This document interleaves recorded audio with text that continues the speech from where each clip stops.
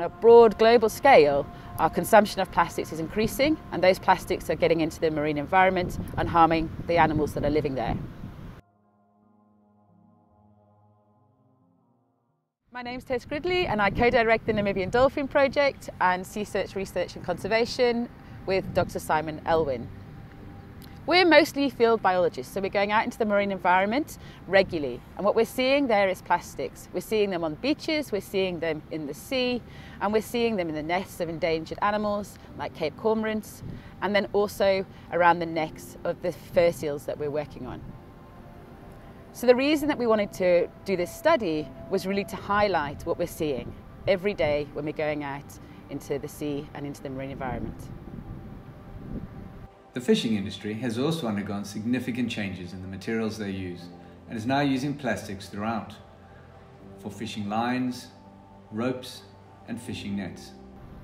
Now this particular study focuses on Cape fur seals which are endemic to Namibia and South Africa. So this study focused at Pelican Point near Walvis Bay in Namibia and also at Cape Cross which is the largest colony of Cape fur seals and Cape fur seals are very inquisitive, so they're like little puppies, little dogs, and they often interact with plastics when they come across them in the sea. So what we're finding is that seals are becoming easily entangled, um, particularly in aspects like fishing line, fishing net, uh, plastic bags, packaging tape. And then because of the very dense uh, fur that they have on their backs and their necks, uh, these materials are becoming basically entangled around the animals and as the animals grow, they're cutting into the skin of the animal first, then through the blubber layer and into the muscles. This is then causing the animals to slowly uh, lose condition and over time it's a quite a slow and painful death. Particularly as these materials often increase the amount of drag that the animal faces, so it's much harder for them to find food. So we wanted to highlight this impact and our study, uh, which was led by our student, Stephanie Curtis from Stirling University, looked at which materials were involved, looked at the severity of injury, and looked at which age cohorts and sexes uh, of the fur seals were more likely to be impacted uh, by, by plastic entanglements. So at Ocean Conservation Namibia, we are an awesome opportunity to be able to collect a lot of data. Um, we're dealing with hundreds of entanglements a year. Uh, last year, over 600 to be exact, and this year is just not looking any better, unfortunately.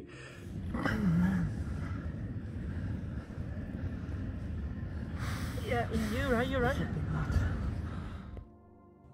We are not scientists, but we are very happy for this data to be used by people like Steph and the NDP um, to bring about some real change.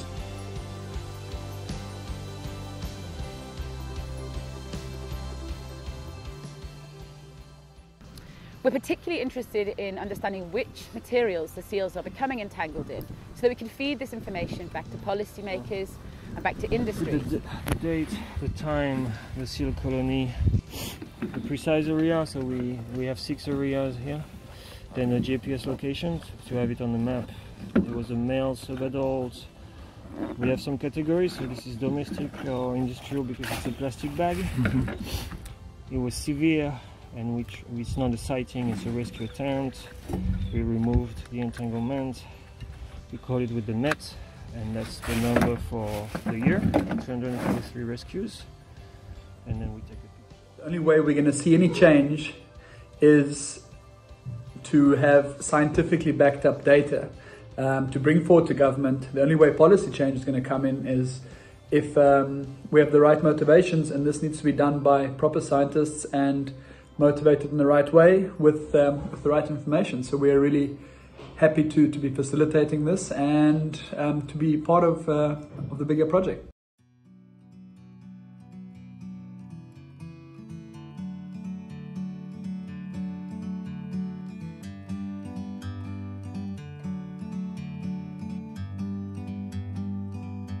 Like a bird on a tree I'm just sitting here. I got time. What we found was that around 53% of the entanglements were caused by fishing related materials, so fishing lines, fishing nets, and we also had quite severe injuries caused by packaging straps.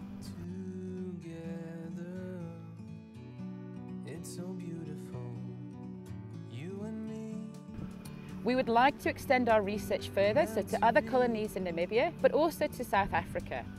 And so we're currently fundraising in order to be able to continue this research and conduct more work on marine plastics in southern Africa.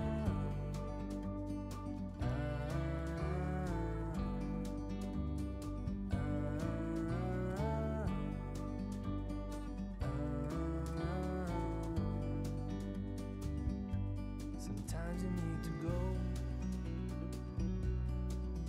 take a step back to see the truth around you. From a distance, you can tell.